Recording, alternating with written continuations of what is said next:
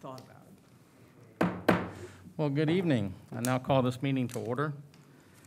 This is a regular meeting for the York County School Board, and this is our first time back at York Call, York Hall after several months, and we're thankful for the opportunity to meet in person and continue to take steps forward and recognizing social distancing. So we are six feet apart when we're allowed to take our mask off to speak uh, while we're six feet apart, but we're encouraging our members, uh, when they're not speaking, to keep their mask on if they are- are able to.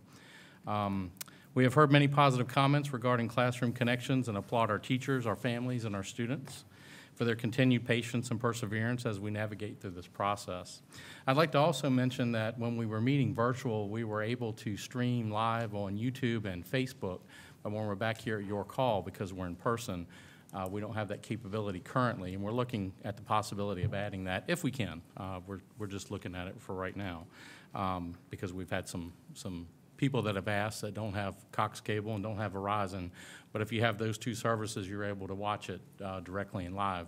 Uh, It just means you have to wait a day to watch it if you don't have that, um, which you'll be able to watch it on the YouTube channel by going through the link on our website at York County School Division. So I'd now like to read the York County School Division mission statement. And the mission of the York County School Division is to engage all students in acquiring the skills and knowledge needed to make productive contributions to the world. So next, I'd like to share some information regarding our pledge leader this evening, Kaylee Haggerty, a fifth grade student at Seaford Elementary School. Kaylee Haggerty, a fifth grade student at Seaford Elementary School, is a model student, and she comes to school every day with a smile on her face, an eagerness to learn, and a strong desire to help others. Whether it is in a classroom or on the soccer field, Kaylee takes pride in working hard to do her best. In addition to being an honor roll student, every marking period, has served as SCA representative, participated in K-Kids and Garden Club, and she loves school and plans to be a kindergarten teacher when she grows up. She proudly comes from a family of educators, and although positively influenced by all, she also attributes her, her grandmother's passion for teaching as being her biggest inspiration. Kylie, Kylie's advice to her peers is to be kind to everyone and always have the courage to stand up against bullying. Kylie, exemplifi- exemplifies what it means to be a positive difference maker in her school and in her community. So if we'd all stand for the Pledge of Allegiance, please. I pledge allegiance to the flag of the United States of America and to the republic for which it stands, one nation under God, indivisible, with liberty and justice for all. Sorry about that. We had some, we had some sound issues, and I thought the sound was going out, um, and we just weren't able to hear all of it, but it turns out nobody could hear all of it evidently. Uh, But we got it, got it done. But thank you very much, Kaylee, uh, for leading us in the pledge tonight. So now we're going to move to our recognitions and awards and our seniors of the month. And all the board members, uh, all of us here were able to participate today and uh, visit most of our seniors' homes and present them with a, a nice yard sign and a, a- a certificate and a cookie text, um, tweet um, from Cookie, Cookie Text. Um, We were able to meet some of their parents and take a few photographs while social distancing, and um, it was really exciting to see, uh, see these, these seniors, and uh, they're still going forward with their schoolwork. Um, A Couple of them took a break because they were just finishing up a class and going to the next class when we stopped by. Um, But our first one is from Bruton High School, and Mr. Schaefer, I'll let you take it away from there and All right. do the write-up.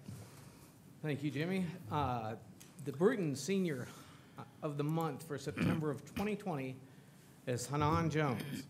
He's at Bruton High School. His principal is Mrs. Arletha Dockery, and Mr. Van Jones is his uncle. Glenda Jones is- is his grandmother. Now, I know Hanan as Jay, because Jay was, uh, started band and was under my son as his section leader uh, back when he learned. But Bruton High School is proud to honor Jay Jones as our September Senior of the Month. His dedication and love for Bruton High School has earned him this honor. Since the ninth grade, Jay has supported our school by providing technical theater assistance as a member of the sight and sound crew. He also volunteered to create and edit class videos and provide support for numerous student led projects. During his 10th grade year, he joined the band program and learned to play the saxophone very quickly. Now, that's a, big task when you're just starting out in band as a sophomore in high school. As a member of the band, Jay quickly found both a family and a passion for music. He served as a section leader and a SUDA ambassador and enjoyed giving back to the band and its family by welcoming new members. He is most proud of the impact that he has had to inspire others to learn how to play a new instrument, as well as encouraging others to have pride in their school.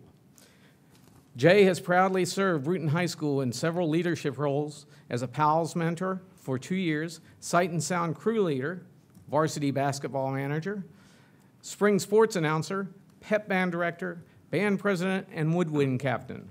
In addition, he has participated in marching band and jazz band.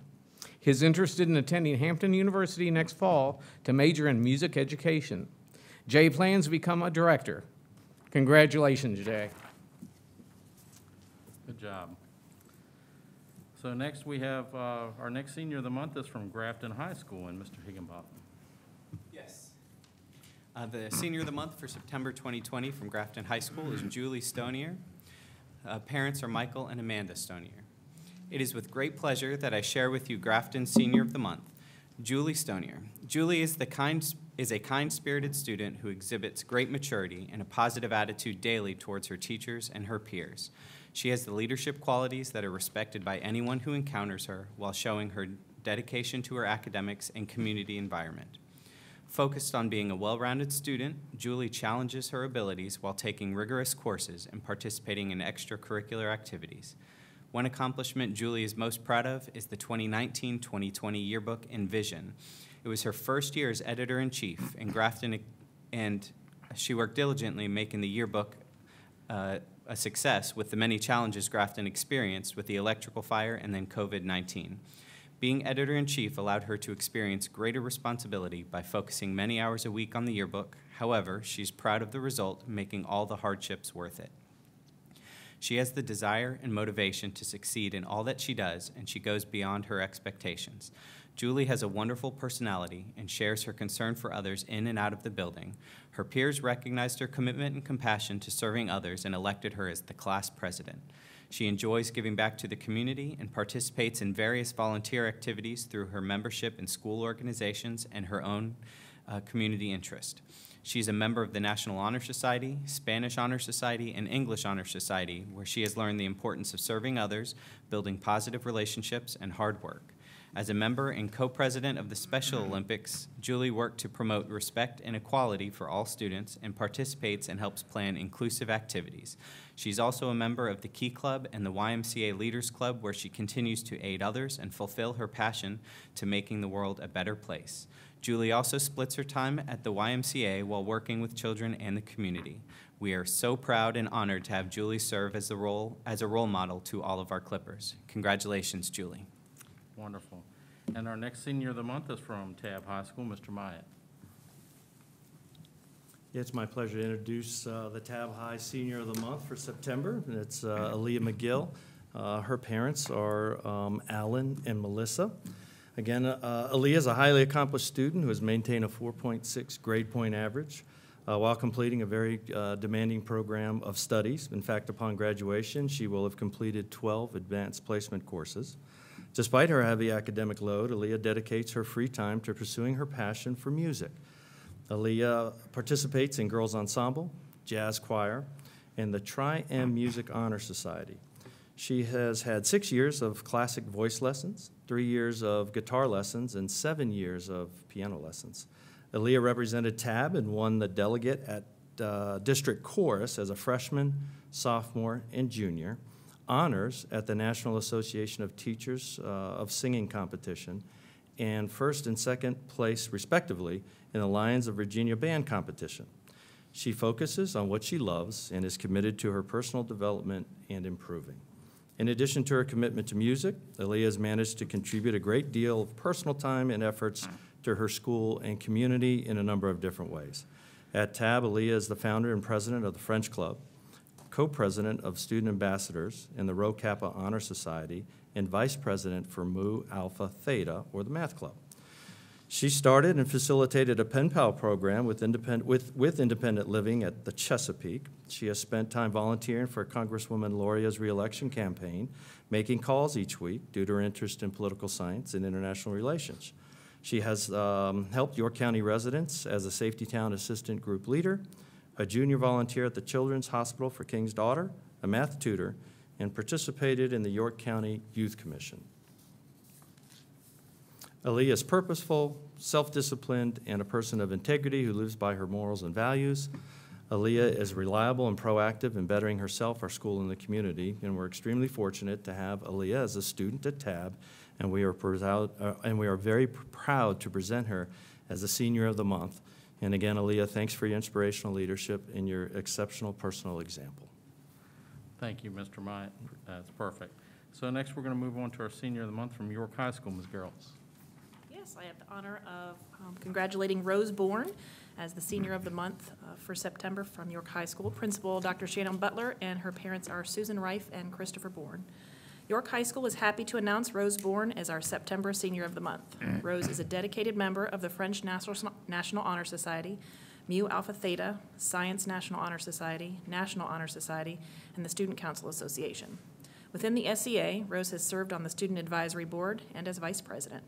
She's currently serve, serving as the SCA president. Rose has taken a challenging course load throughout her high school career and has excelled in the International Baccalaureate program. In May, Rose was the recipient of the AP Scholar with Distinction Award and the West Point Leadership Award.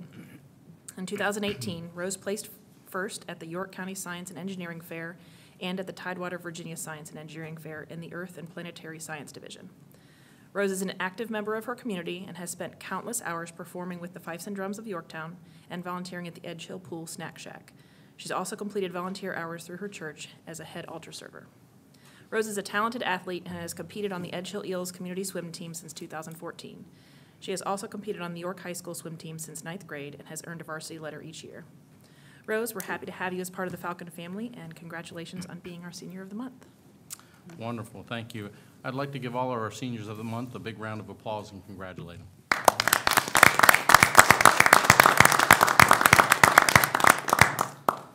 All right, well, thank you.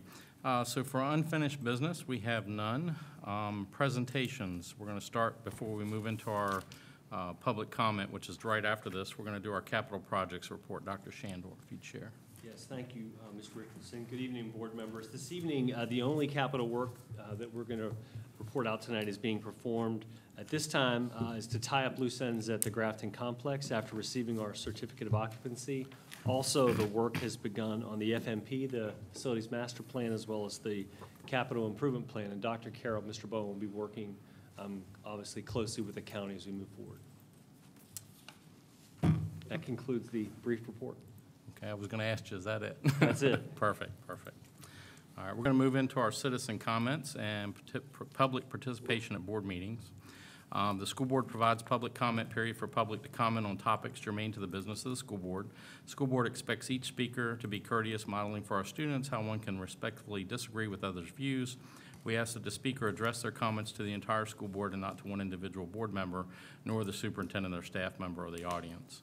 Speakers will present their comments from the podium, and each speaker may speak up to three minutes. The timer is visible to the speakers from the podium, and speakers should conclude their remarks when the red light comes on. The timer will begin after you state your name and address. So relating to the safety measures, uh, we're practicing social distancing this evening. We have implemented several changes related to our citizen comments. We're providing individual sign-up sheets and pens for each speaker. We're cleaning the podium and area after each speaker, and we ask that you speak loudly as the safety shield muffles uh, the voice uh, there when you're speaking. So we have one speaker for this evening, and that is Blake Simpson, if you'd come forward. And just state your name and address for the record, and then the timer will start. I can take this off up there? Yeah, absolutely, you sure can with the, That's with the shield there, yes, sir. All right, well, thank you very much. I'm Blake Simpson. My address is 2311 Seaford Road, and um, Seaford, Virginia. So, uh, thank you very much uh, for allowing me to speak. Um, So I was just, wanted to tell you what I'm seeing uh, firsthand. I got two boys, uh, one in third and one in fourth. Um, The, the school days are, are, in my opinion, pretty short. Um, The amount of time that they actually are getting lessons um, is not exactly what I was expecting. Um, So they go for four days, and then, you know, Monday, Tuesday, Wednesday, uh, they check in, they get a little bit of assignment that they're supposed to be doing on their own, And then, of course, on Thursday and Friday, again, these are short days. Um, So uh, what ends up happening, luckily, I'm able to work from home, uh, but there's uh, always a lot of hiccups. They're always coming to me for something uh, or another, or when they do come to me, and I tell them, hey, when you're done, you're supposed to come let me know. And they come quite soon. Uh, And then I have to go and look at what they've done or not done. I have to do my investigative work. Uh, So it's, it's not easy uh, with, with being at, being at home. So I, I'm all for us going back to school. I really want the children to go back. And with that being said, you know, I kind of would think that we're looking towards all the other places that have gone back to school, private schools, colleges. And as far as I know, we really haven't had any major outbreaks. Um, so, uh, again, I, I'm lobbying for us to go back just as soon as we can. Now, I understand you guys have a, uh, probably a phased approach, uh, but that, that's, uh, I'm sure that there are plenty of other people, they're just not here. Um, The other thing uh, that uh, concerns me now is the going back for two days out of the week. Uh, So I spoke with uh, my son's teacher this morning. She had told me what she's going to plan is, it's the same lesson all week. So Monday, Tuesday, that group gets that lesson. Thursday, Friday, that group gets that lesson. So in the, for the other three days, these children are supposed to be doing this work about the two days of the lesson on their own and then continuing on with that. Like I said, they're very hard to keep on task. They're just little children. Uh, So this idea of cutting the teacher's time in half in which they have to provide a certain amount of lesson is concerning to me. I really would, don't know how they're going to, I'm sorry, go through the, get to the SOLs and actually have a shot of doing well. Um, And, um, yeah, I just was hoping maybe we could have the camera in the back, and then, you know, that way they would still be able to sign on and, and see what's going on those other days. Again, I know you guys have your plans, um, but that's, uh, that's my, my concern. Thank you very much for your time. Thank you very much for your comments. Appreciate you coming out tonight to, uh, to speak to us. So I'm now going to close our public comment period. We have no one else signed to speak, and I'm going to move on to matters by board members. But it's my understanding there's- we're going to speak a little bit on the back-to-school plan. Is that during your report? We are the superintendent's report this evening. Dr. Carroll is going to share two items. He's going to share, um, we brought um, special education students back today, so he's going to share a little bit about uh, today. Okay. He's also going to share, he, we had a call this morning with the state superintendent, so he's going to provide the board with a brief update on uh, health metrics. And then Ms. Skinner and Dr. Wrights are going to share some information related to the back-to-school plan as far as um, pre-K, K, and first grade. So they'll share that information on the superintendent's report. Okay, thank you. Yep.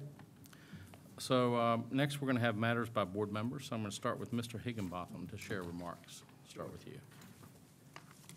So, um, believe it or not, we're now three weeks through uh, of of school.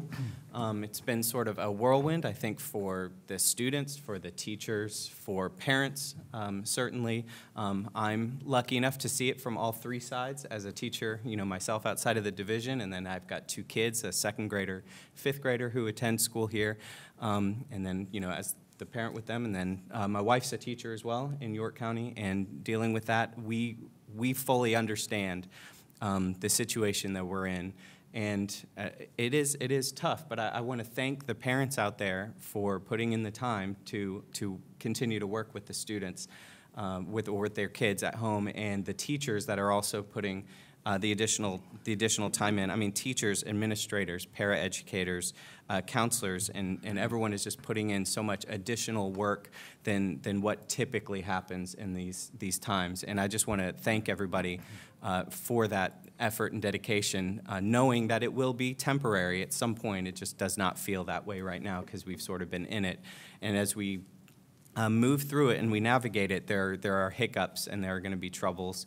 And we, we work live to, to figure them out and to uh, find the best plan to keep everybody safe and everybody learning. And I just want to thank everybody who's doing that. And, and I truly mean it from the parents. I see it going home after, after I get home, helping my kids with the asynchronous work uh, that's going on and, and reviewing what was submitted through Canvas and everything. And um, hopefully things are starting to, to level out now and, and some routines are, are being made.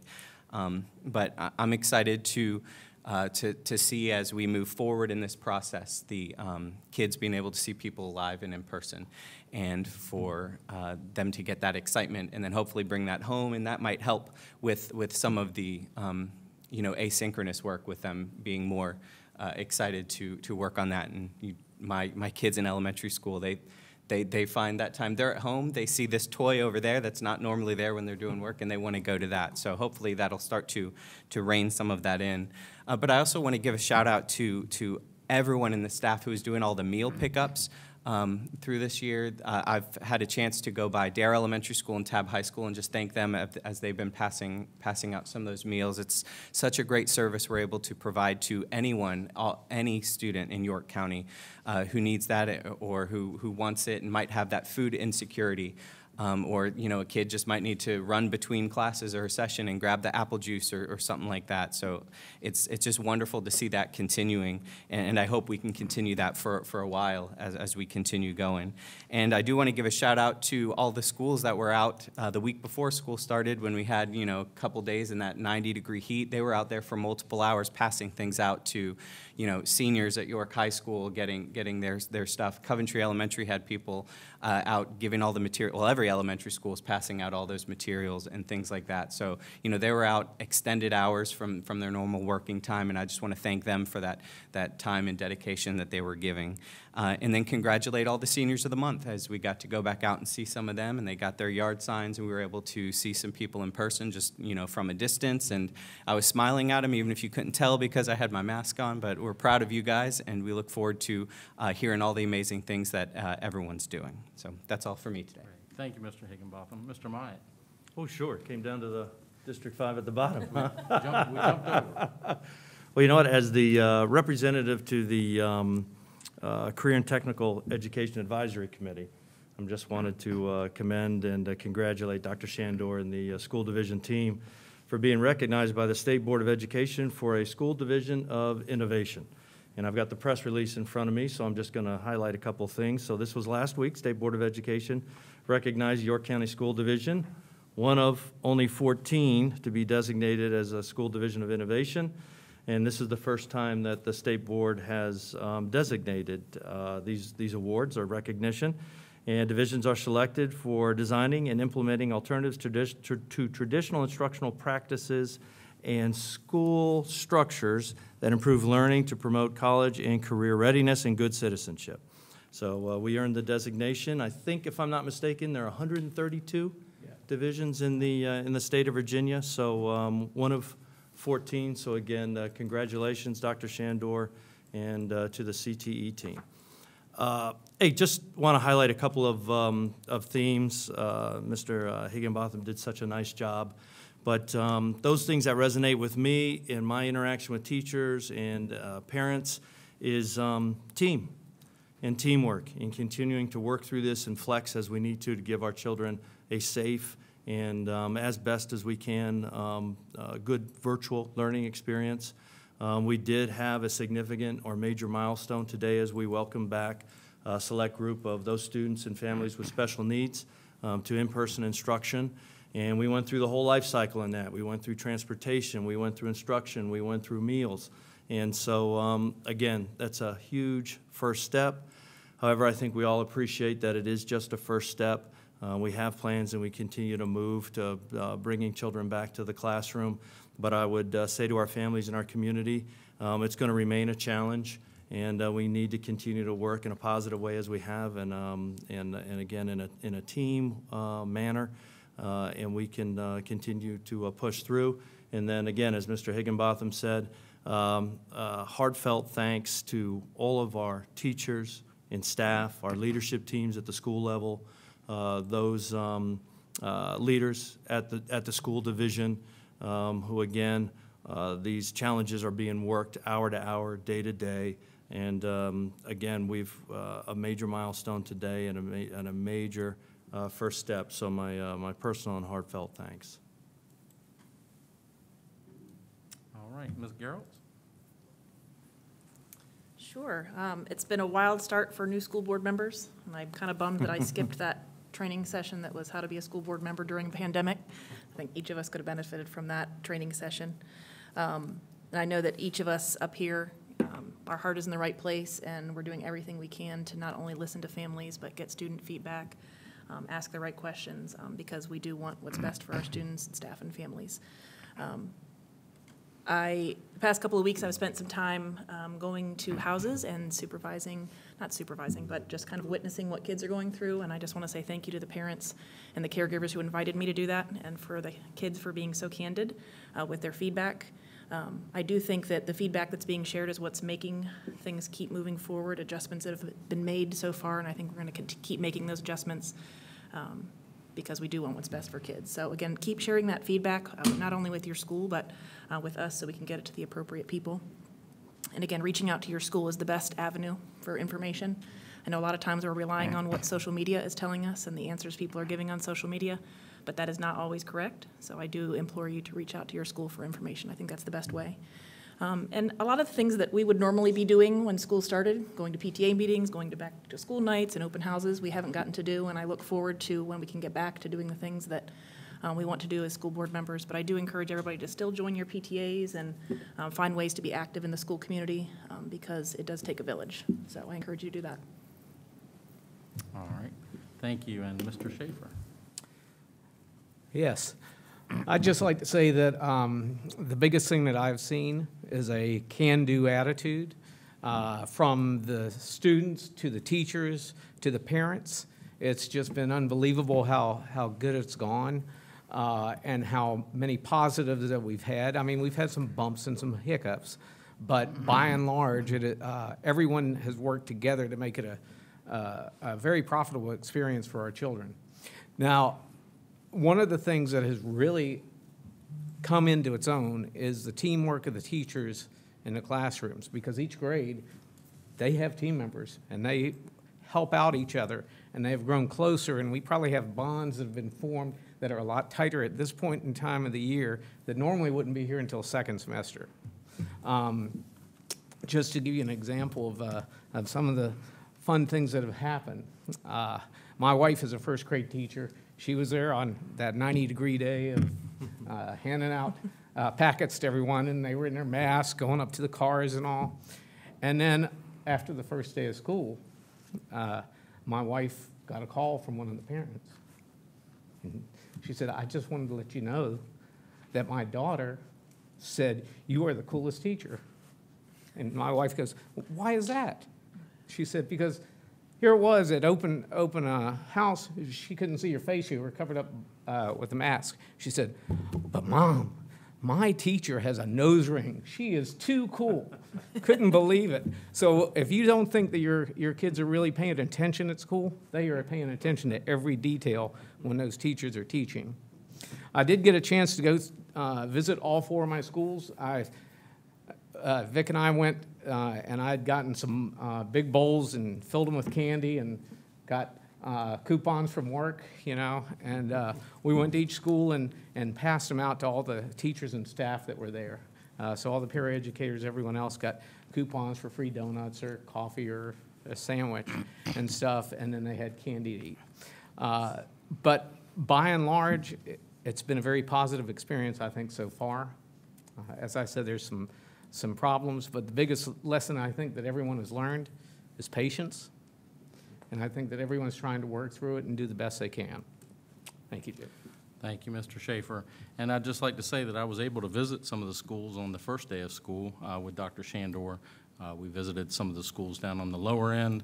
Um, We were able to go into the classrooms where the teachers had the, the students on the, the virtual classes and, um, and see how they were doing. And one was just so energetic. She was getting the kids up and having them do some exercise, a little brain break, and um, it, it, it just looked looked promising for what we were. We, we weren't sure what to expect um, with the virtual learning, and we still don't know all the ins and outs of that. I don't think, but um, we're working through it as we have to with with COVID. Um, but I do want to echo Mr. Higginbotham's sentiments and all the other board member sentiments about uh, kudos to all the teachers, bus drivers, paras, all those that were out there that day. I hope I didn't miss anybody, but I'm sure I did. Uh, that were out there passing out those devices and getting everything uh, because we were at the last minute. Um, because we didn't decide to go virtual until the last minute and vote on that. And uh, we did order um, the computers and that's, that sort of thing uh, with everybody across the country. So we were, we were all trying to get those devices. Um, But I would like to say that, um, you know, we want to continue to move back our kids, just like uh, one of the board members mentioned, but we want to do it safely. Um, And to our parents, um, please be patient with us. We're trying to do the best we can with what we've been dealt. Um, It's, it's been very difficult, not just for our division, for every division across the country. And um, so we're trying to do the right thing. Our school division has always been top-notch. It still is top-notch. It's one that people move here for our schools. So I think uh, the leadership that's in place here is making the right decisions as well and guiding us and, and giving us um, many good options for us to choose from uh, for our children. But anyway, I'm going to wrap it up with that. But thank you, everyone, for your comments. So we're going to move into financial matters, and I'm going to ask Mr. Schaefer to discuss the financial matters at this time.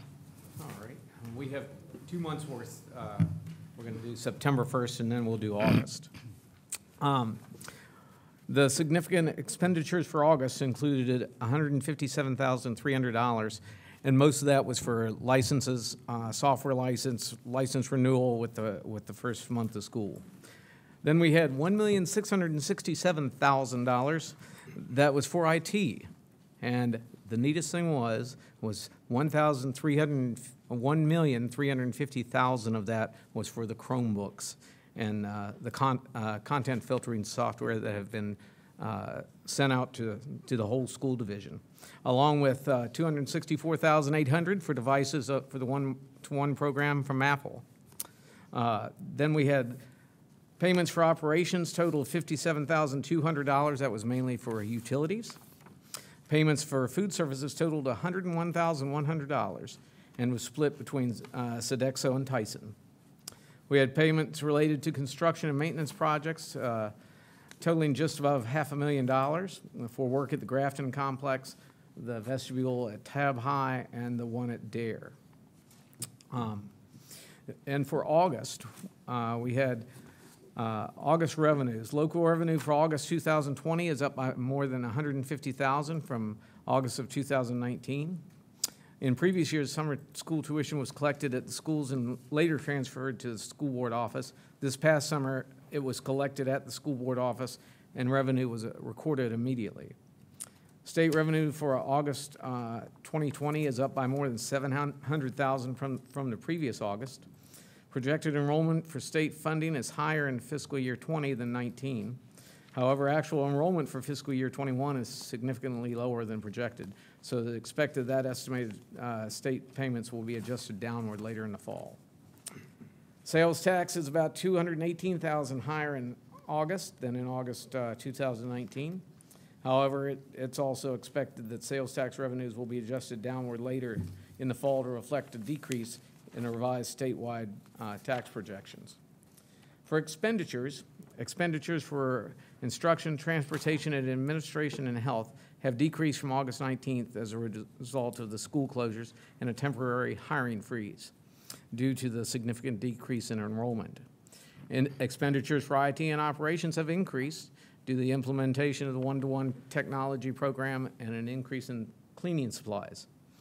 Uh, Significant changes relating to the food service budget. The federal revenue for food service is up by more than 146,000 as a result of the USDA's decision to reimburse the school for meals provided throughout the summer. Food service expenditures for August 2020 have increased 109,000 when compared to 2019, again, because we provided meals throughout the summer.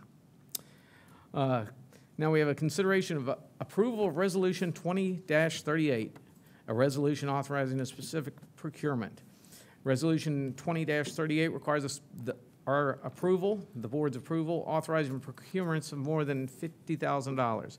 There's one item on the uh, resolution for uh, Citrix license renewal for $380,012.50. I don't know how they came up with 50 cents.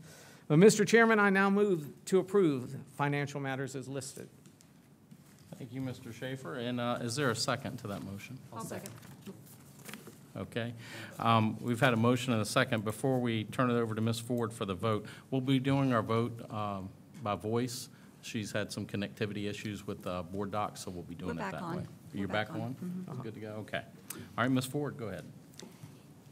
Yes, a motion was made by Mr. Schaefer and seconded by Mrs. Geralds to approve financial matters as listed.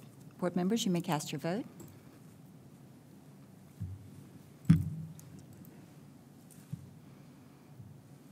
Okay, the motion has passed unanimously. Thank you. Thank you. And I just got it back that you had connection, so thank you. Sorry about that. Um, We're going to move on to our consent calendar, and our consent calendar has four items on it. Approval of personnel actions, approval of donations in the amount of $300, and approval of minutes from a regular meeting on August 24th, 2020. Is there a motion to approve the consent calendar as listed? It's just three items. I apologize. I move that we approve the consent calendar as listed. Okay, is there a second? I'll second. All right, Ms. Ford? Yes, a motion was made by Mrs. Geralds and seconded by Mr. Schaefer to approve the consent calendar as listed. Board members, you may cast your vote.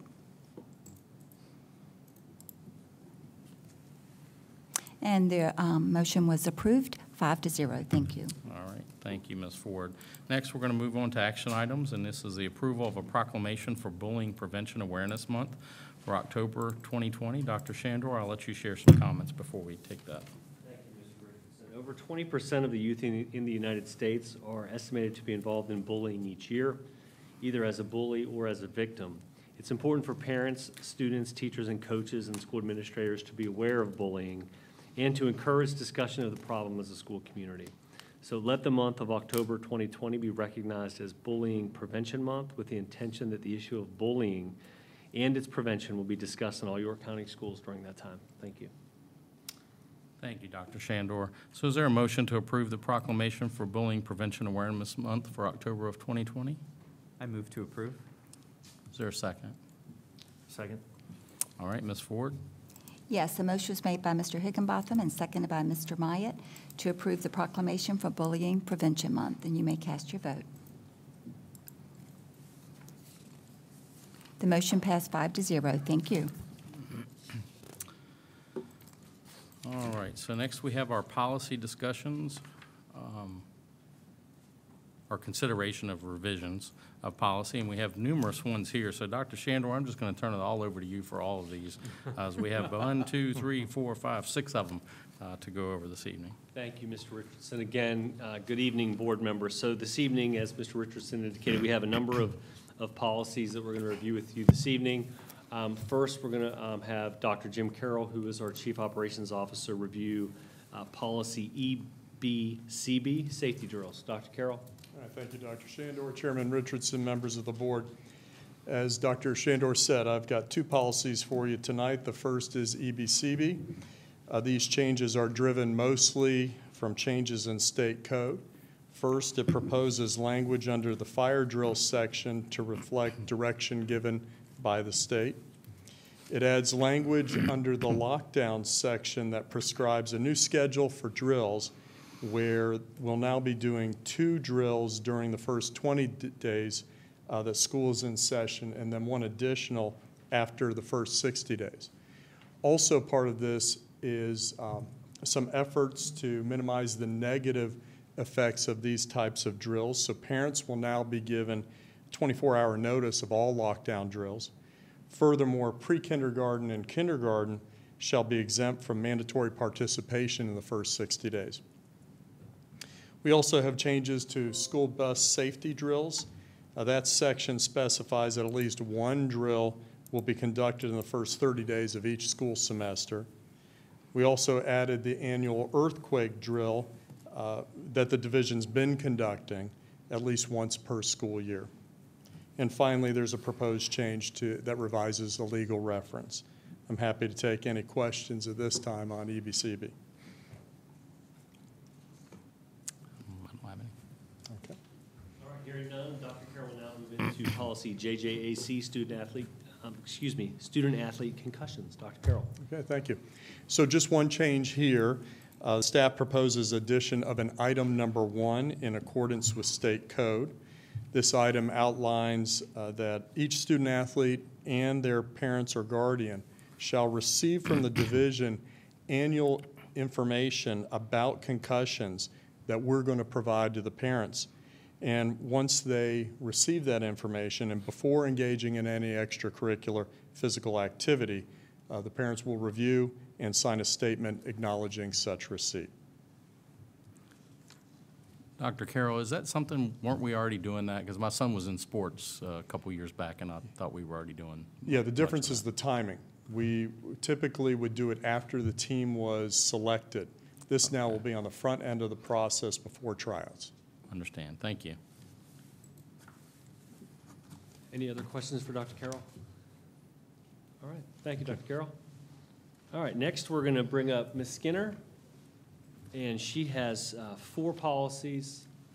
We'll let Dr. Carroll do his cleaning first. It's my new job. Hopefully your wife won't see this. All right, Ms. Skinner, our Chief Academic Officer, is now going to review four policies. She's going to start with a a consideration of a revision to policy Good evening, Chairman Richardson, members of the board. Policy IAA, Notification of Learning Objectives, requires the school division to give yearly notice of learning objectives, SOLs, and diploma options to parents and students. Additionally, it requires that we provide parents with specific information regarding graduation. In July of this year, House Bill 410 was passed, which requires the school divisions to enact policy that provides timely written notice to parents of any student who undergoes literacy and response to intervention screening, and any student who does not meet the benchmark of any assessment used to determine at-risk learners. Policy IAA has been amended to include this new requirement. Do you have any questions for me regarding that policy? Any, idea what timely means? I'm sorry, I didn't hear you. Timely, what does, is there a, a, a timeframe? It doesn't um, indicate timely for us. It would, um, we certainly want to make sure parents know about these before their student would take that assessment. okay.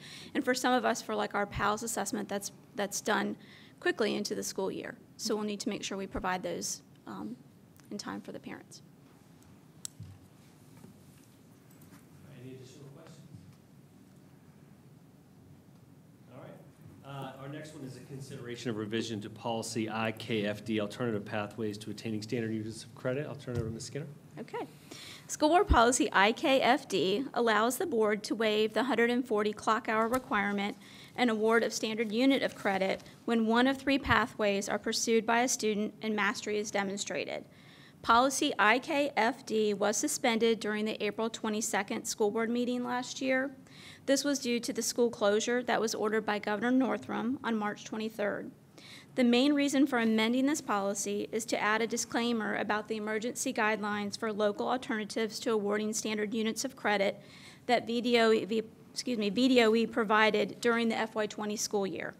These guidelines will need to be included in the policy until all impacted students have graduated. And while reviewing that policy, we identified a few other substantive changes that uh, we felt needed to be made.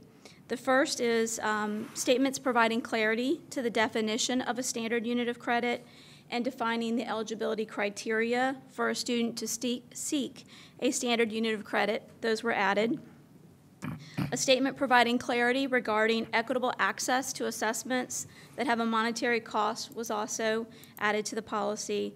And finally, a statement that allows the board flexibility of the 140 clock hour requirement in the event of a significant or extenuating circumstance at the school division or state level was added. Do you have any questions for me regarding that? You said that was until all students impacted? Were- Yes, so So, our- so like eighth graders last year who were taking a high school credit? We even have actually a seventh grader last Oh, year that okay. was taking high school credit, Okay, yes. so So it we goes would all the need way to. back to there. Mhm, It'll stay a part of that policy until those students graduate. Okay, good. All right, we'll move into our third policy under Ms. Skinner. So the next one is consideration of revision to policy IKF, Standards of Learning, Test and Graduation Requirements. Ms. Skinner? So policy IKF provides information on the established uh, educational objectives known as the standard of learning, as well as a program of instruction that is aligned to these assessments. So I'm, I'm going to repeat what I just said for the last one a little bit, but I feel like it's necessary just to make sure that you understand why we're making this change. So policy IKF was suspended during the April 22nd school board meeting last year. This again was due to the school closure that was ordered by our governor on March 23rd. The main reason for amending this policy is to add a disclaimer uh, about the emergency guidelines for locally awarded credits that VDOE provided during that school year. These guidelines will need to be included in the policy until all impacted staff have graduated. And just like before, while we reviewed that policy, we did, we did identify a few other substantive changes that we would like to make. First, in order to the, align to the Virginia School Board Association language, it is recommended that the name of the policy be changed to the Virginia Assessment Program and Graduation Requirements. And secondly, the statement about using an SOL test as a grade has been removed. And then finally, clarifying language stating that students do not have to sit for end-of-course SOL assessments once they've earned their required number of verified credits has been added. Do you have any questions for me regarding those? Okay. All right, we'll move into our last one, a consideration of revision to policy IKFA, locally awarded verified credits. Ms. Skinner? Thank you. Policy IKFA provides guidance for students who are wishing to earn a verified credit for a course but may not have passed the related SOL assessment. Just like I shared before, policy IKFA was suspended during the April 22nd school board meeting. This was due to the closure by our governor um, on that, at that time. The main reason for amending this policy is to add a disclaimer about the emergency guidelines for locally awarded credits um, and this will be included until all impacted students have graduated. While reviewing this policy, we identified a few substantive changes. First, the statement about the specific number of locally awarded credits that may be earned by students was removed. This is because the number of allowable locally awarded verified credits differs based on the student's graduation year. And then second, a statement indicating that the board may award verified credits as part of credit accommodations towards a standard diploma in science and social studies for students with disabilities was added. This was due to a change in graduation requirements since the last revision to this policy. Do you have any questions for me? All right, that was a lot of information. That's a That was a lot. So I do want to uh, thank uh, Ms. Skinner, Dr. Carroll, and uh, Ms. Berry, who worked really hard on all these policies. Obviously, there were six presented to you this evening. They'll come back to you next month for first read. Okay, thank you. Yeah, I I read all that on board docs earlier today, and it was, it was a lot. It's quite a bit, yes. It was pretty lengthy. Um, All right, so now we're going to move into policy readings. We have no first readings and no second readings on policy. So I believe we're at the superintendent's report, uh, is where we're at. So Dr. Shandor. Thank you, Mr. Richardson. Um, So I just have a few points this evening, and then I'm going to turn it over to some staff members to give you uh, some additional information this evening.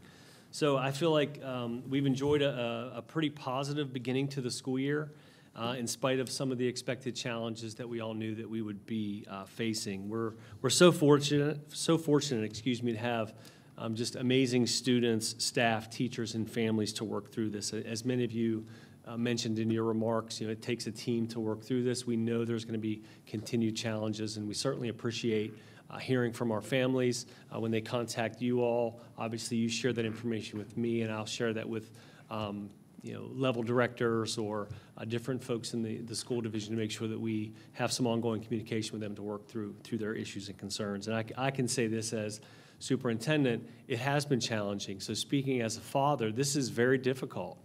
Um, watching my 10th grader, my 7th grader, and my 4th grader navigate this is very difficult. Um, but I also see on the other side of the camera teachers working incredibly hard to, to try to make this work as best we can. So um, I appreciate the, the patience of everyone, the grace, and um, just, just working through it, trying to work through these things. Um, and I think we're really finding out uh, what we're made of as far as a team and, and teachers and a community that we know at, at, the very core of this is what's best for our kids. We all know that. And, um, you know, when, when tough times hit, it's important to come together and try to work through these things together. So I, I certainly appreciate all of the work that everyone has done and everyone's resilience and dedication is certainly appreciated within the school division as far as um, our teachers, principals, assistant principals, but, you know, those folks, uh, paraeducators, uh, bus drivers who are either driving a bus today or handing out devices um, throughout the last, you know, several weeks. All of our teachers standing out in the heat, handing out equipment, answering phone calls. Uh, we have folks handling issues at night, uh, teachers contacting students at night. You all get the emails as well as I do about that are um, from parents appreciating the dedication and work of our folks. Um, I did want to mention, I was able to visit, I- believe, all 19 schools uh, thus far. Again, very impressed with the engagement and how we're connecting with our families and our kids um, in in this virtual um, environment that we're in. School board members, many of you joined me for those visits, and- and we were certainly excited uh, to see the creativity with the teachers. Um, I I know this, and I've said this in many meetings with our principals, assistant principals, and executive team. Our teachers did not sign up for this job to sit and look at a screen and work with kids. They worked, uh, you know, they went to school and, and did all this hard work to actually work with kids, be in the classroom with them, as Mr. Higginbotham knows as a teacher. Uh, this that special connection, sort of where where the magic happens, so to speak, to see a spark uh, jump in kids. So. Um, we're still seeing that in this environment, which, which is extremely exciting. I'm super proud of, of our team. Um, and then also, just, just one more note, Dr. Carroll and I had the opportunity to meet with the new Langley Air Force Base Military School Advisor, uh, Colonel Tim Heritage. Um, that meeting was set up by our uh, Tammy Edwards, who's our military liaison with the county. Um, he assumed that position in, in new to Langley. We had a very productive conversation. We certainly appreciate their ongoing help and, and partnership as we work through this. While we were on the phone, we were still navigating some, I believe, some issues and concerns with connectivity with some of our families in Bethel Manor, so we certainly appreciate their work. So at this time, I'm going to ask Dr. Carroll if he'll please uh, go to the podium. He is going to share some information uh, first about today. As you know, today was the first day that we brought students back into the buildings. So I'll turn it over to Dr. Carroll. Thank you, Dr. Shandor. First, I'd like to take this opportunity to thank everyone involved in our planning for this school year over the summer. As the board has recognized in previous meetings, it's been an arduous task for our staff, and particularly as we put together the preparations for this week and for next. I'd like to recognize Elaine Gould, Candy Skinner, James Lash, Greg Dolak, and their teams, their entire teams, for the work to get us ready to this, to this point. In the past couple of weeks, we've been bringing into the buildings individual students uh, for different required assessments, including English learners, gifted students, and special needs students. Today, we started uh, sign-ups registration for athletic conditioning, so that's going to be starting soon. Also today, we also brought in students, while adhering to the VDH guidelines, select special education students. Those students numbered over 60 and are now attending school two days a week in 10 of our schools. Uh, from the reports that I got today, meals were on schedule, transportation was on schedule, behavior was good. We had a couple of students that had mild concerns about a return to the buildings. Related Services was able to push in. Teachers felt adequately prepared with uh, PPE. Parents were excited, and all in all, a good day. This return to school is the first of many steps we hope to take to return to full school. That desired end required design of special bus routes, prepping our schools and buses for extra hand sanitizer dispensers, painting directional arrows on the floor and waxing over them. Moreover, part of prepping the schools was bringing in Mr. Kevin Pierce from the Peninsula Health District to observe our preparations and to ensure that we were in accordance with their guidelines. So we had a successful day and we look forward to the next step, which Dr. Wrights will be sharing in a few minutes after my second report and after any questions you might have about today. I don't have questions, I just want to say congratulations. I just love positive reports like that, so. Thank you. All right. So as you know, our COVID experience in the environment is ever changing. My second item is to brief you on new information that we were alerted to last week and briefed on just this morning. The Virginia Department of Health unveiled new tools on their website. They've been sharing information with us on a limited basis since last July using internal data tools and maps that the public can't see. However, they have been working on a public-facing interface, and during that planning, just uh, as of September 15th, the CDC published new guidance surrounding seven data metrics placed in three groupings. These are distinctly different than what VDH shared with us this summer with eight metrics. Uh, Only two of those remain, and the other five are a measure of how we are conducting our own mitigation standards. So five of them are completely under our control that are grouped in one group, and then two metrics that we know uh, in the past that are being tracked, uh, positivity rates, test rates, and then also new cases per 100,000 uh, citizens. So uh, the division cited this new guidance was coming, and there's going to be a possible change in how we report out, and we did that last week. We reported that we would be looking at this with our wi- wiki, wiki, weekly health metrics report. That will either start this week or next.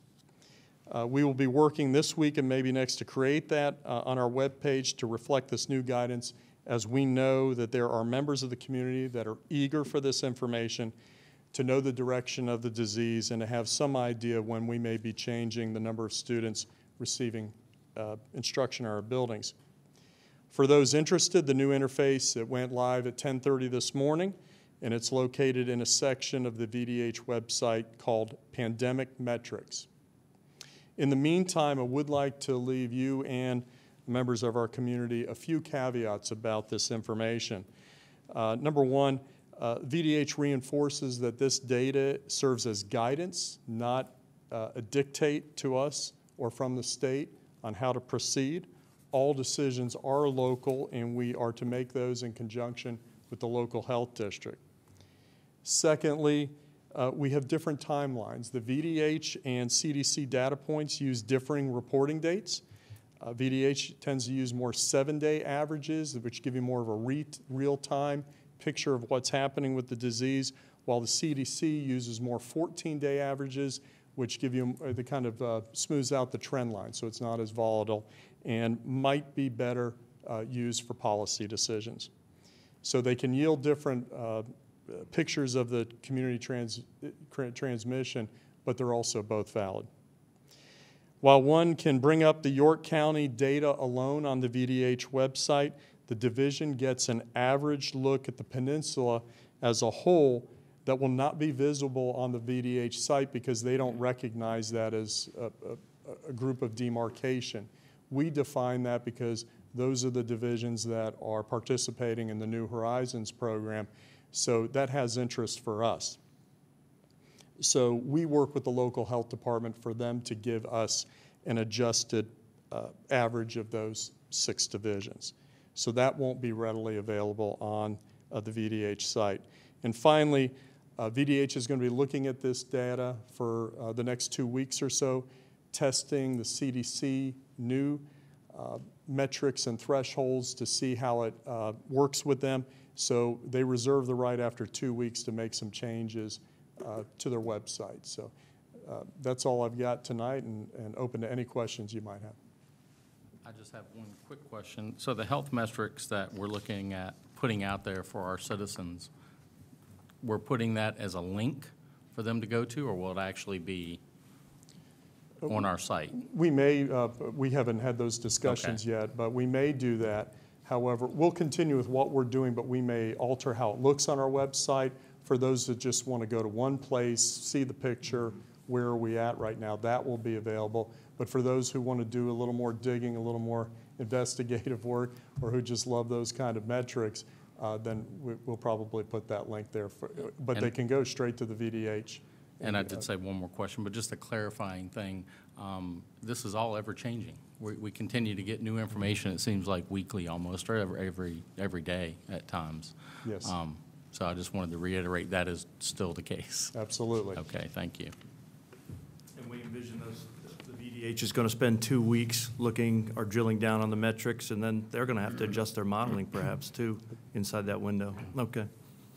All They right. they may change or they may uh, keep the same. And we'll keep the same in the near term till we learn more from them. Okay, thank you. Again, just a a clarifying thing. Um, we get a lot of emails, people comparing us to other divisions and what they're doing. And I know that you have said this many, many times, but just to reiterate, we're going by what Peninsula Health District is telling us. We're using them as our, our go-to. And that's why sometimes we might be doing something different than another community. Well, would for be the doing? health metrics, I mean, there's a lot of reasons why you would make a different decision. First of all, what are they basing their decisions on for health metrics? And they, uh, you know, you may have a different interpretation from a different, uh, different body. Uh, Secondly, you have to remember your operational uh, metrics, uh, your integrity. Can you deliver what you want to deliver for students and parents? Also, you have to remember that every community is different. And so while we have, may have more students that want to return to the building, you may have another community that does not. And then how does that work with your operational integrity? So every context is different, and so we have to remember that and try to match that and deliver what we can. I'm sorry. Uh, From what I've seen, we, we just need to be flexible to be able to adjust to anything that happens, pretty much. Pretty much, And- just And, yeah. and that can change every week or every two weeks. Right. Uh, But Uh, I think we've done a pretty good job at, at uh, deciding what we're going to do uh, when we have the best information.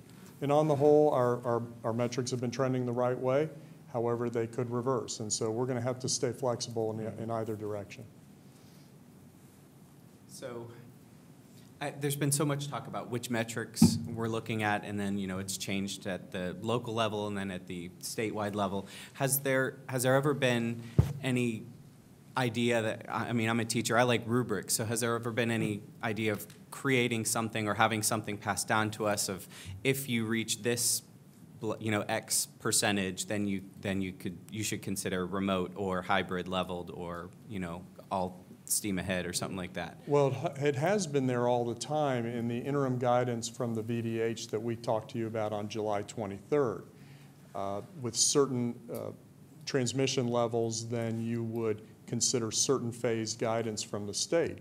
And so when we made our uh, recommendation in July, we were in substantial, as was the whole eastern region, and therefore, we, uh, that said that ph- phase one, which was go, go remote, was the primary uh, recommendation at the time, and you could consider phase two. And so that's why we made the recommendation that we did. You will see with the new CDC matrix, they do tie those numbers under each, under each heading, they do tie the percentages there, and so you can see that. The problem is there are some differences between the CDC and the VDH, and where previously there were four categories, which were no, low, moderate, and substantial, CDC now has a five-point uh, a difference, which is kind of like a Likert scale. It's a, a lowest, low, moderate, high, and highest. And they're, have come up with a, uh, a crosswalk for that. Uh, And so we'll continue, so that will be posted, and that's what we're working on, is how do we, how do we post that, and how do we get that all together into one place so that we can bring better understanding for our parents that are interested in, in watching those, and tracking those metrics. And um, I know, I think we said at the last meeting, there is someone at the Peninsula Health District that parents can reach out to if they have more specific questions about the individual metrics. Right, I don't have that uh, number on, on hand, but they can just look up the Peninsula Health District and call their main, Okay. uh, the main uh, line. excuse me, Dr. Carroll, or they can contact the school board office. We'll have that, there's an email that uh, parents, interested parents can send to, um, so we, we can share that information in that fashion for those who are interested. But I think we're heading into a direction where, uh, you know, people can, can see that more for themselves. When they had the first, when we first talked about the interim guidance, and they had this algorithm of eight different, different measures, and they were the only ones that could see that. I think that has contributed to an air of not understanding or feeling there's a lack of transparency. But uh, they weren't the only ones feeling that way. Uh, We were not getting that story, just a designation of where you're at and looking at the peninsula at a couple of data points. And now we've settled in on two data points uh, that I think anybody can look up for, for York County. So this is going to give them uh, some more transparency. Uh, But just remember that we're also looking at the larger peninsula because half of our employees live in that, in that area. So that's important for us also because those staff members would be commuting into our district for work. Just to add one more comment, uh, Dr. Carroll and I also invited Kevin Pierce, who presented at, at one of the board meetings that we had, I believe, in the summer. It- I think it was the July 23rd meeting. Um, We invited Mr. Pierce to come visit us at, a- at a- one of our elementary schools, just so he can see an example of the mitigation strategies that we put in place. We had Mr. Dolak there, um, Ms. Hutchinson, our health coordinator. So he came there, he um, observed, gave us some, some feedback, and quite honestly, some kudos for, for a lot of the work that we were able to, to do as we're, you know, as we were bringing in students today, you know, more importantly, not more importantly, but as we're opening up 10 elementary schools next week, we get, we wanted to show him a good model of what does a classroom look like? What do the hallways look like? What are some other mitigations? What are the protocols that you have in place? So um, we certainly leaned on our, on our partners to, to provide us some help and support and guidance in that area. We'll also be sending out videos, I believe, this week at some point, um, showing what those mitigation strategies are as far as mask wearing, uh, how, how to walk in the hallway, yellow arrows in the hallway, um, desks. We had some, we had some, we had a wonderful little um, student who demonstrated proper hand washing and those types of things as well. Right, just to help and remind uh, students and parents. And the information flow is going to shift in the other direction. Generally, it's been community level, division level, but as we introduce uh, students back into school, particularly on a more regular basis, the information is now going to begin to flow from the schools and the leadership teams up to the division. Um, So that's, that's another challenge. It's a challenge for the, uh, for the school teams and how we manage that data and that information piece. Yeah. Absolutely. That's, uh, that's the perfect segue to, to close. Any other d- additional questions for Dr. Carroll? Good, thank you. All right. Thank you. Thank you. I'm going to ask Ms. Skinner um, if she'll come to the podium, and I know Mr. Rice, you'll be, you'll be close by. Let Dr. Carroll clean first. Thank you. All right. Ms. Skinner has, has a brief presentation this evening. She's going to review our, um, some information related to bringing our youngest uh, learners back. Ms. Skinner. Thank you. Good evening, Chairman Richardson, members of the board, Dr. Shandor. Um, I want to echo Dr. Shandor's comments earlier, just recognizing our teachers, our paraeducators, who have done tremendous and incredible work um, well before the school year started. But just to learn a new teaching platform, a new learning management system, a, tons of new software programs, to spend the time building relationships with our students like they have done, um, and then to provide high quality instruction that they are doing right now. I just think that their work is incredible, and I wanted to just publicly thank them for that work for sure. Um, so this evening, I am excited to be here to discuss the return to school plan for our youngest learners, which is our preschool through grade one students. They'll be returning, as we shared earlier, on October 5th. And tonight, I'll give you a brief overview of that hybrid, the hybrid schedule that they will be following. And then I'm going to ask Dr. David Wrights, our Director of Elementary Instruction, to share some additional information with us. So let me see if I can pull this up. I apologize. Here we go. Okay.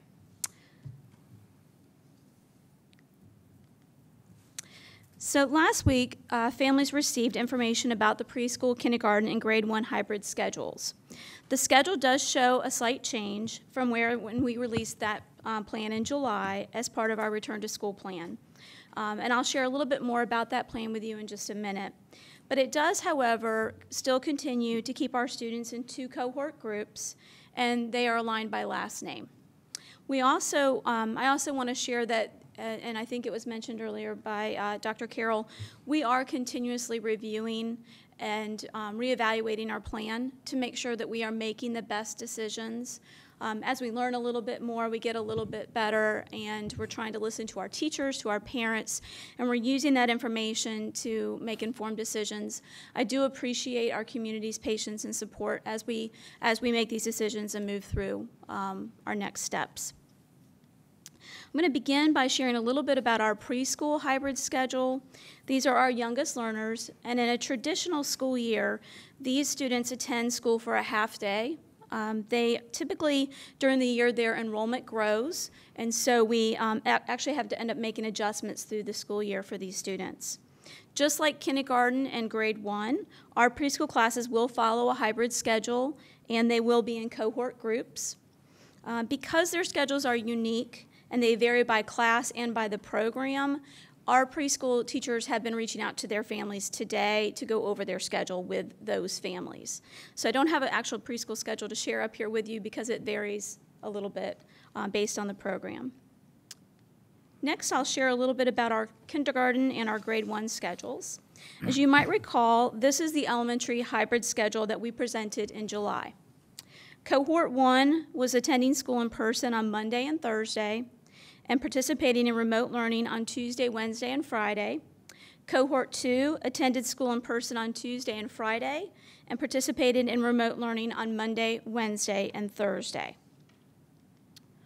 With our change, we have shifted the schedule for students to be in buildings on back to back days rather than alternating days throughout the week. As I shared uh, Friday, as we shared with families on Friday, cohort one will be primarily our students with last names A through K, and they will attend school face to face on Mondays and Tuesdays. They will have asynchronous instruction on the other days. Cohort two includes students with last names L through Z. Those students will attend school face to face on Thursday and Friday, and they will have asynchronous instruction on the other days. We uh, do promise to do our best to try to help support our families in keeping those families whose students, whose children may have different last names, together um, in cohort groups.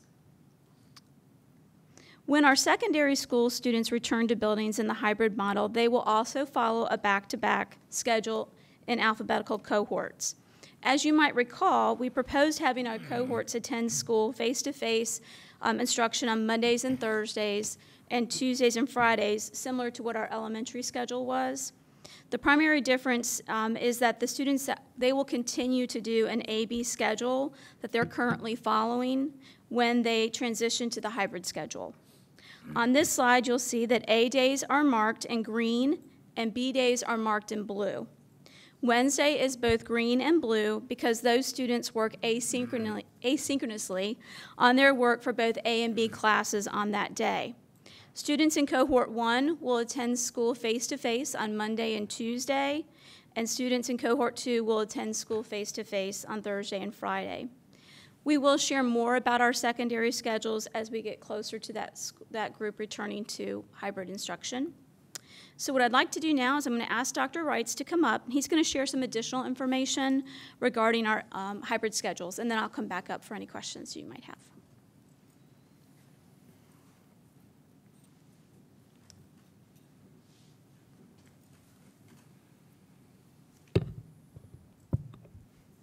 Good evening. As the Return to School group was reviewing our plans in preparation for bringing our youngest learners back into schools, I pulled together a group of parents, teachers, and administrators to conduct a decision analysis using the Tregoe Ed tools we often reference. And we're looking at what is the best schedule to follow for our pre-K, K, and first grade populations. So as you can see from this slide, the three criteria that we took into consideration was maximizing health and safety mitigation, increasing our learning opportunities, and supporting our family schedules. This evening, I'm going to share some of the considerations and benefits of this schedule change.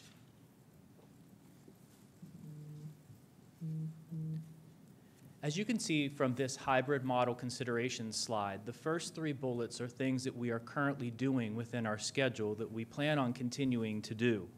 One is utilizing Wednesdays to provide targeted interventions, provide opportunities for paraeducator support during asynchronous instruction, and support teacher planning. The next three bullets are things that we're going to put into place that are going to support those three criteria that we talked about with that Tregoe Ed decision analysis. That is, allowing more time between the cohort if an exposure does occur, support student retention of instructional content through consecutive days, attendance days, and provide consistency for families to secure childcare for three days in a row rather than the staggered schedule. On the days students are learning independently at home, they will continue to have daily interactions with their teachers at the beginning of each day during their morning meetings. In turn, we're excited the following benefits will also help our students and families. So the first benefit is increasing our face-to-face student interactions. And what we mean by that is it supports our parent concerns that students need to be in the classroom socializing with other students and also supporting our social emotional learning of our kids. And so this opportunity of these interactions will give our parents and our students that opportunity to be able to have those face-to-face interactions with each other. The next is increasing face-to-face school support services. What we mean by that is we're going to be able to have our school counselors available for face-to-face meetings with our students. We will have paras to be able to work with our students, and our reading specialists will be able to work one-on-one, face-to-face with our students during those days. And then the next is reducing our screen time. What we mean by this is students will have time, less time on their devices due to the two days they are face to face with their teachers and their peers. However, students may bring in their devices during those face to face instruction days, but primarily, primarily the focus will be the intense instruction of utilizing small groups and one to one intervention. Earlier this evening, you heard Mr. Simpson talk during the parent community open session about what does asynchronous instruction look like. And so that's what I'm going to talk to you about. Um, so if you're sitting there thinking, what on those days where the students are not face-to-face, what does it look like? So let's look at these few bullets on this slide. Resource classes will be given to our students during those days of asynchronous learning. We will still continue to have daily class meetings, which students will log on each day during their morning meetings to meet their social emotional learning and also to take attendance. Independent practice to support in-person instruction. This is extremely important when we're talking about extending the face-to-face instruction. What our students are learning during that face-to-face time will be extended during those asynchronous times with the lessons that they are provided. Also, those lessons will be developmentally appropriate, and we will also give them opportunities where they're on and off their computers. Some may need some adult support, but our goal was to minimize family technology intervention and promote student independency. Next is instructional support and extension. What that means is we are planning on still continuing to provide small group lessons with teacher or para support Students may have the opportunity at times throughout their day to join asynchronous lessons while their teacher is face-to-face with the students in the classroom.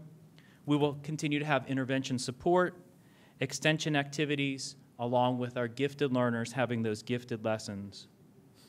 And then we have the flexibility of family schedules with some activities that may require to happen um, during a certain time, like a small group lesson or morning meeting, some of the asynchronous instruction will be flexible in time, which many families may find extremely helpful. It's our intention to have constant communication with all stakeholders as we move through this process in order to provide the best optimal le learning experiences for our students and for our families. And we look forward to welcoming our students into our classrooms next week. And now we will have the opportunity to uh, take any questions. Who's going first? They all point to me. I can start, but I'll let you start. No, go ahead, that's fine. No, go ahead. Um, So when we're, t- we're talking about what asynchronous looks like, I think that's a big concern of families. I know that's one of the things that we're getting a lot of emails about. Um, What does asynchronous look like for our kids? Will they still be face-to-face? And when you're talking about having, you know, the teacher do uh, small group lessons and paras do, doing small group lessons, and I know that you've looked at the staff and we've got people in place to do that. Um, But my concern is the amount of time it's going to take for our teachers to kind of split those groups. Um, are- I'm just worried about the stress level. So cohort one and cohort, cohort two will be separate, but those kids will have different um, due dates. So how will that look for their families on Canvas? Well, how will we separate that? So we're still working through that process now. We're, um, we've, our teachers have given us some information. I'm sorry. Um, Our teachers have provided us with some information about um, how to, how they'd like to see the Canvas page changed a little bit. I was just meeting with some of my staff today.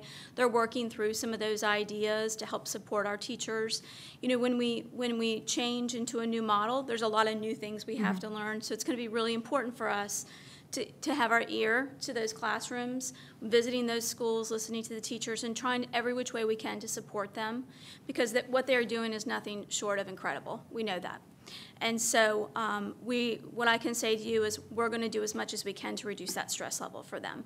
And a lot of that is listening, trying to help get their feedback, and then being ready to pivot and change as needed. When it comes to the asynchronous instruction, yes, they will have two different groups. And as uh, Dr. Wright shared earlier, um, making sure that um, when they are with those students, they are with those students. That's really important to us. That's important to our students as well and our families. And so trying all that we can to make sure that we're supporting them with asynchronous instruction.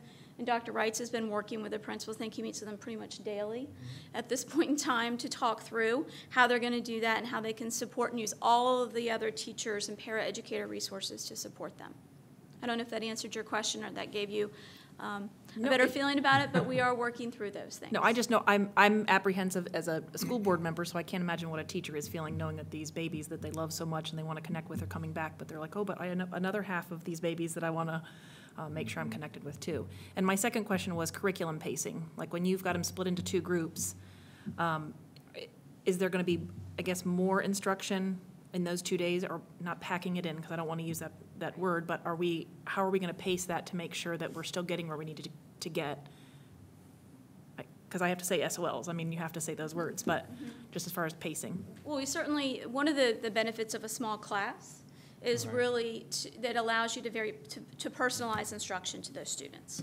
And so I wouldn't say the word, you know, like cramming, that's not what we want Okay. to do to our students. We want to provide very rich, small group instruction, and that's what most of elementary instruction really is, especially at the younger grades. A lot of what they do is through small group instruction. It's very targeted to their level, and they pace where that student is. And so you can, you know that when they are with those teachers, they're going to be very personalized in, in how they're, they're working with those students, and they're, they're going to be doing a lot of informal assessments. We've done a lot on the back end, our curriculum specialists have, to support our teachers in learning how to use informal assessments. Some of the things that we've purchased for our teachers, like IXL and a couple of the other programs, will allow teachers to do that a little bit easier than maybe they could have done before. And those informal assessments allow us to move and to really personalize where those students are. Um, so, you know, I think some of those, but the, the pacing piece, our curriculum coordinators have done quite a bit on the back end in Mastery Connect to help with curriculum pacing. And so they've met with the teachers, they've showed them how to work through that curriculum pacing, and then we're going to be monitoring that. It's going to be really important for us to continue to monitor that pacing. Okay. Sorry, I didn't know if you had anything else you wanted to say.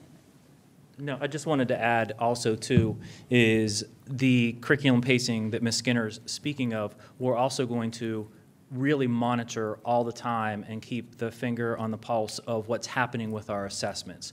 Are our students doing well with the assessments? Do we need to pivot and, like Ms. Skinner said, and look at pacing and adjust?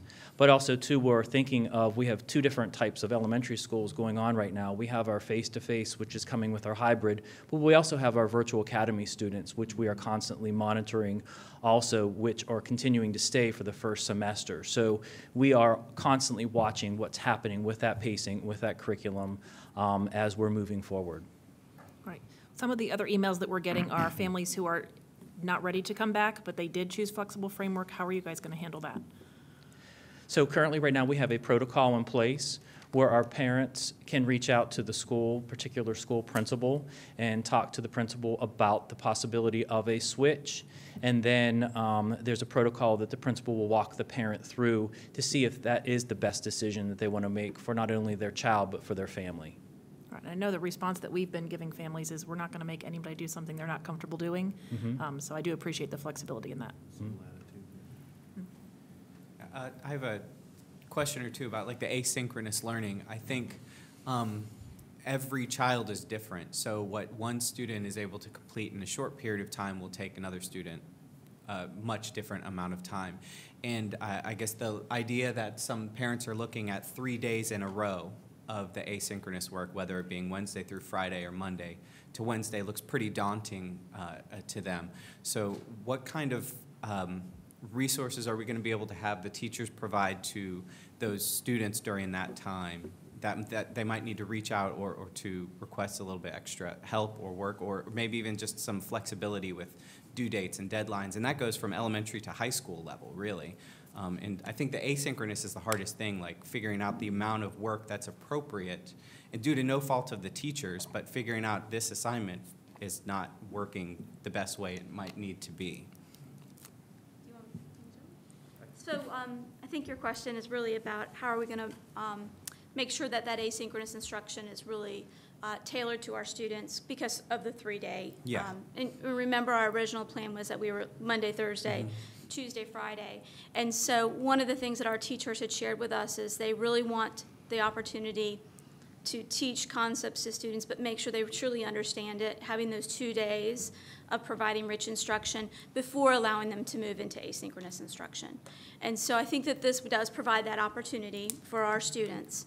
Um, but it will be very important that our teachers are monitoring that asynchronous work.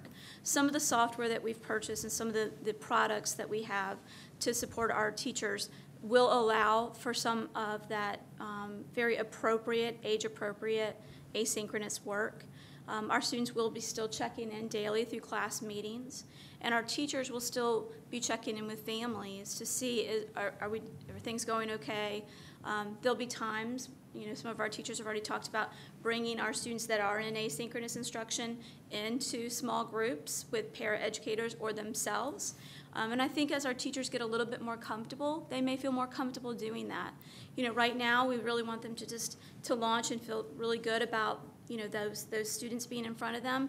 But I can tell you, I've watched teachers who, who knew nothing about Canvas have these wonderful Canvas pages, and they are just, you know, giving it all that they can. And so I feel confident that our teachers are going to be able to do this, but we have to make sure that we're supporting them in that process. So my answer, uh, Mr. Higginbotham, would be um, a simple answer, but it would be that there's a few things that are, that are important. Number one, we got to continue to remain flexible, right?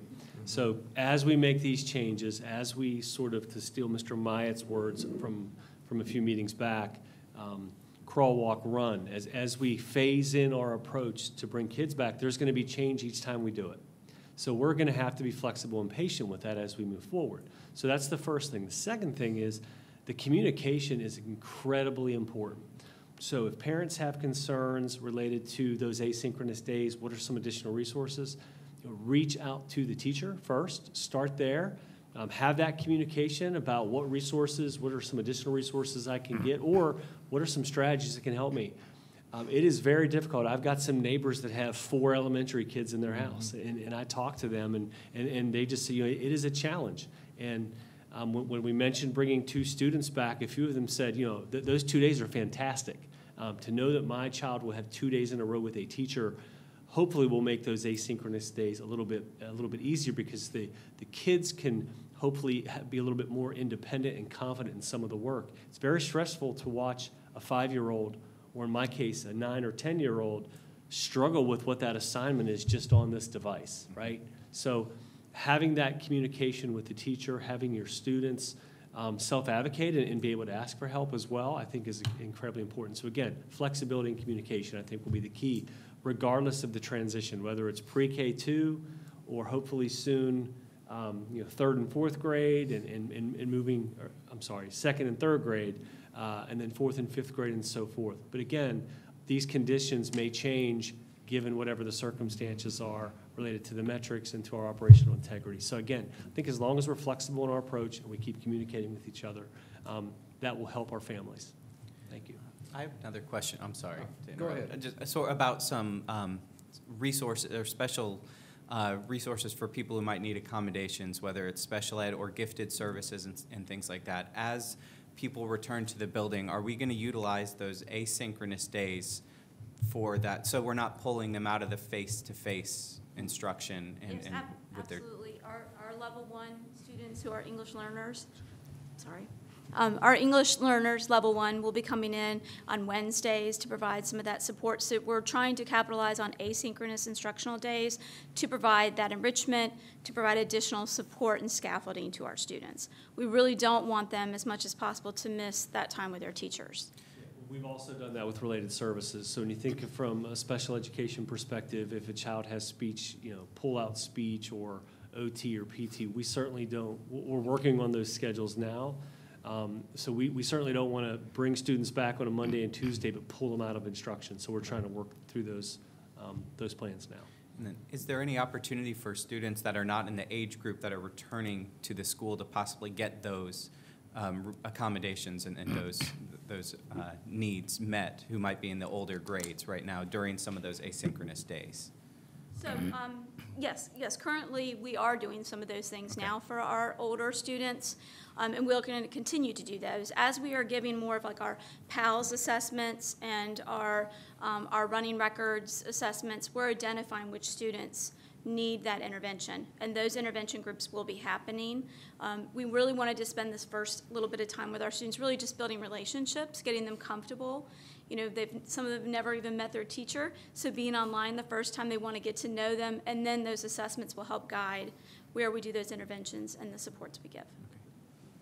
Sorry for filibustering all this. And al- also, too, utilizing Wednesdays, which is our, our day that we're going to bring our um, at-risk students or any students that might need some additional help, or um, even on the opposite end, that we may be able to enrich and move a little bit further along, too. So those are the day, that's the day of the week we really want to emphasize bringing in those students on a more individualized basis. Okay.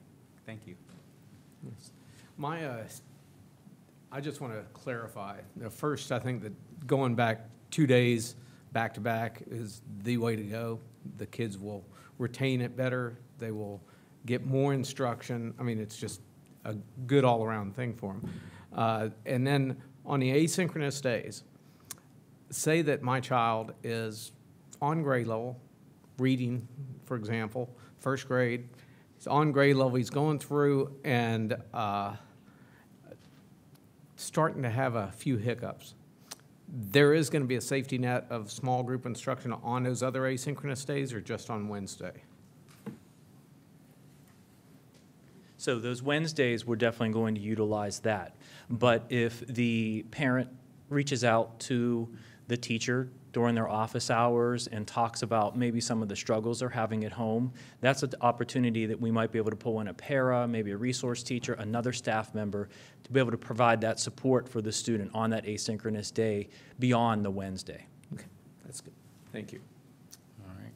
Well, being last uh, has its advantages because most of you answered my, asked my questions already. Ms. Gerolds, uh, you asked one about uh, what if a, a parent wants to switch because they made this decision way back and we're moving a little faster than they deem uh, they're ready for, uh, that they can contact the school and we can do what we can, if we can, uh, to work things out so they can continue virtual.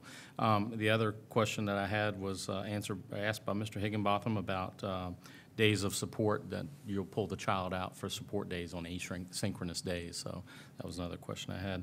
Um, I just want to also mention the back-to-back schedule is also uh, good for the parents and the families for, for scheduling purposes as well on top of that.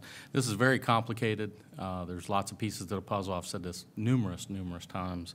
But what hasn't been uh, mentioned is um, staffing that we also not only have to do everything we've already talked about, but we have to make sure we have the staffing that can come back to the school, that they don't have complications, uh, medical reasons that they can't come back and do face-to-face. So uh, we also have that hurdle to overcome as well. Uh, So again, another reason why this is very complicated. Um, So I just wanted to reiterate that. But thank you, thank you, thank you for everything you've been doing. Um, I'd have done pulled my hair out if I was in your job, I know, with everything you had to try to consider. And I know we want to get the kids back in school. Um, we want to do that, but we want to do it when it's safe for them to return as well. Uh, but we have both sides that, that you know want two different things, and hopefully we can accommodate as much as we can. Uh, but we want to make a smooth transition and make it safe. But thank you so much for that presentation. Was there any any other questions anyone I- had? I just thought of one. Yep. Sorry. Um, you had mentioned a second ago, these kids haven't met their teacher. We always do open house, back to school nights. Is there a plan in place to do something so that when they get there, they know where they're going? Um, So the principals are working through, Okay. do you want to talk about the communication that you've been having with them? Sure. So I meet with the elementary principals daily just to talk about some of the things that we um, just haven't encountered before. And so we're talking through it together because if um, the principal of Mount Vernon has a way that she has accomplished something, then we share it with the other nine and we're able to learn from it. So as far as students coming back, because they are our youngest learners, these are our five-year-olds that have not even been in a building before. And so um, following our social distancing guidelines, we are going to have, uh, I said today, an army of staff outside to be able to greet the parents, the students, to be able to get them to their classrooms where they need. Um, So also, too, we're talking half. So it's about roughly around 60 kids that will be coming on Monday per building, um, give or take, depending on their population. So we do have plans in place to make sure that the students are welcome, that the families feel comfortable when they're dropping their students off, and have that communication with the families possibly throughout the day that their kids are okay. Um, so it is going to be tough for a parent to be able to, you know, drop their five-year-old off and then they walk through the building. Um, so we want to be able to have that support. We've also asked our executive leadership team to make sure that we are present on Monday and Thursday of next week being the first day for both cohorts, um, each one of the buildings, just making sure that if questions do come up, that we're there to be able to support the school too. Um, so we do have some things in place for that piece, but it is tough with the guidelines that we currently have in place to allow parents into the building to walk to those classrooms. Um, But I do know that coming up, we are going to be doing some virtual open houses um, for the community. And um, Ms. Parr, in operations, she's putting those things together to provide those opportunities for families to have the virtual open house. Great, thank you very Excellent. much. Final Good to comment. hear. if I might. I beat this drum, I'm just going to beat it again. Um, There's a great deal of energy to include the um, uh, additional stakeholders involved in the decision um, analysis and the planning.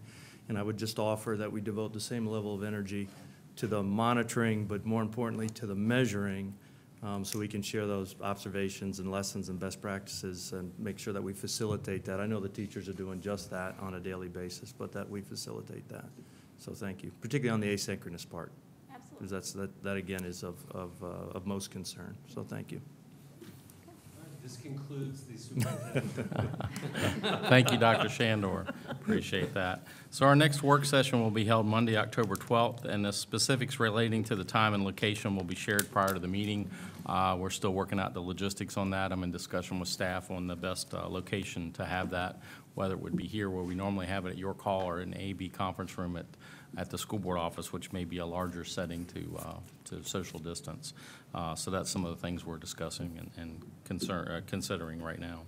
We're in need of a closed session, so if there's a motion and a second to take us into the closed session relating to a personnel matter. Sure. I move that the York County School Board convene in closed session pursuant to Virginia Code of Section 2.23711A1 of the Virginia Freedom of Information Act to discuss and consider personnel matters relating to the performance, disciplining, or resignation of a specific employee. Is there a second? Second. All right, Ms. Ford? Yes, the motion was made by Mrs. Gross and seconded by Mr. Schaefer for the school board to meet in closed session. You may cast your votes. I'm sorry, I had to exit it out. Okay, so I will mark you out. My vote is yes. Thank you. And it passed five to zero, so you're now in closed session. Thank you. All right, well, everyone have a great week. We're now in closed session, so this meeting's adjourned. Thank you.